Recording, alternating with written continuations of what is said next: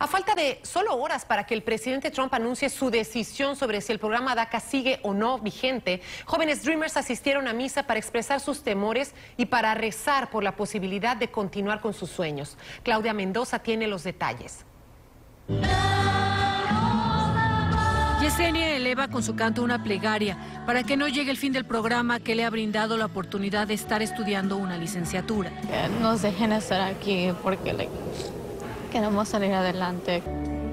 Ya uno de sus sueños se ha hecho realidad, cantar con el coro de la iglesia Nuestra Señora Reina de los Ángeles. Su peor pesadilla sería no poder seguir estudiando y trabajando. Ella es el pilar económico de su casa. Para poder ayudarle a mi mamá, porque ahorita, por lo que está pasando, el trabajo ya ha bajado, tengo que apoyar con los biles.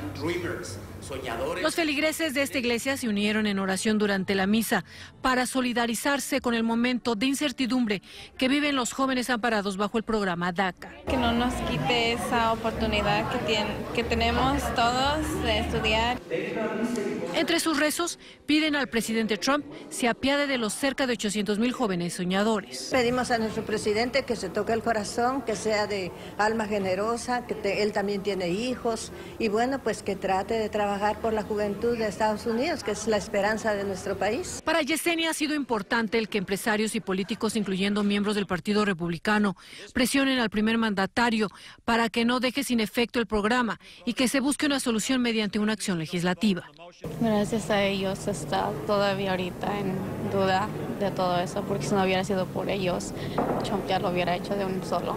A pesar del apoyo expresado por empresarios y políticos para que no se elimine el programa DACA, a los Dreamers solo les queda esperar y confiar en que no tendrán un triste despertar de un sueño que han vivido todo este tiempo.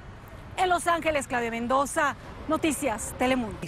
En un comunicado, el Departamento de Estado advirtió a sus ciudadanos evitar destinos como Cancún, Playa del Carmen, Cozumel, Tulum y Los Cabos debido a la creciente violencia del crimen